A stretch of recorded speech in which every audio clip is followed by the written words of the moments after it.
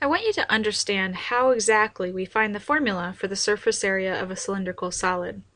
Here we see a cylinder, and what we're going to do is separate this cylinder into three parts, three places where we have a surface area. The top, um, the shell, and the bottom. And so here's the separation. If we unwrap the middle part of the cylinder, what we basically get is a rectangle and two circles.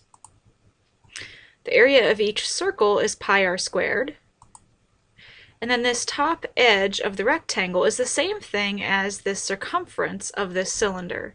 And so we have a formula for the circumference, and it must be the same as the length along the top of this rectangle. We have a height for the rectangle, and so the area of this rectangle is the length times the height, 2 pi r h. Putting those all together, we get that the surface area for cylinder is pi r squared plus 2 pi rh plus pi r squared.